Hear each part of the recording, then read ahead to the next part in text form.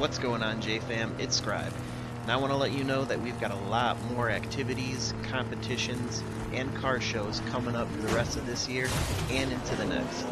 And for now, I want to introduce to you the newest activity we've got going on. This is called the No Road Off-Road Showdown.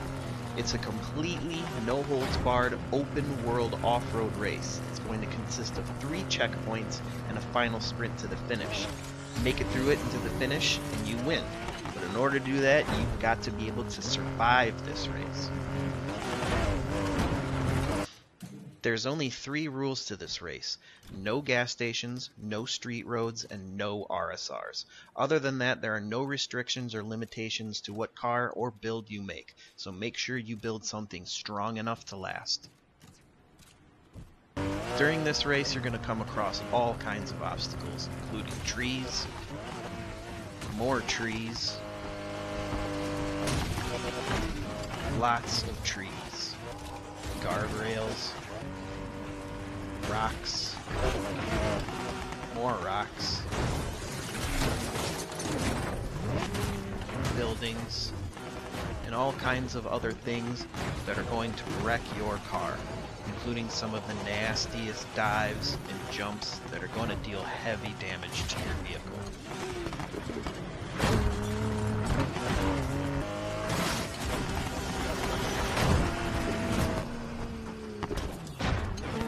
The race is going to start in the raceway, and everybody is going to line up at this speed trap and use this as a starting line. Once you get there, open up your map and select the safe house in Cape Castile. This is going to be your first checkpoint. Highlight the route, but ignore this route. By doing this, you keep your safe house along the border of your minimap, allowing you to use it as a compass guiding your way. Keep the safe house pointing north, and you should always be on the right track. Once the race starts, you're going to head down this strip and make a left out of the raceway to your first checkpoint.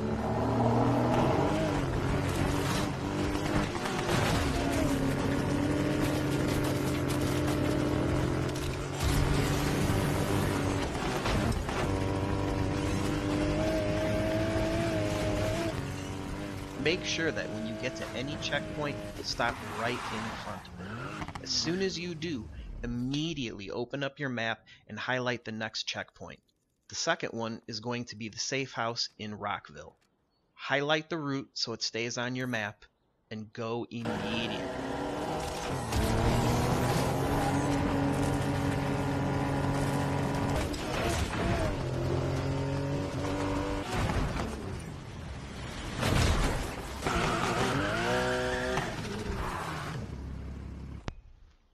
The last checkpoint before the final sprint to the finish is going to be the safe house in Port Murphy. Highlight the route and go.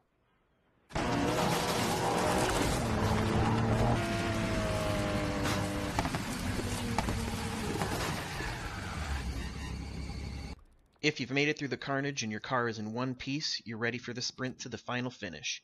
This is going to lead you right back into the raceway. Right here on this spot of the map is a massive jump that leads right into the stadium. Somehow put a waypoint anywhere where you feel comfortable and head your way there.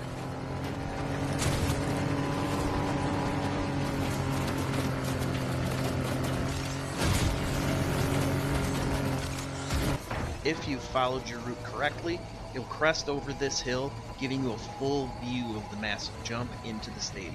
Spam that nitrous for the win.